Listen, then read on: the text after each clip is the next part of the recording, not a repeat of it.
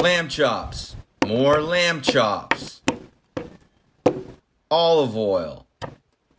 Salt. Pepper. Rosemary. Incredibly nice barbecue made by Charcoal Chariots. Charcoal.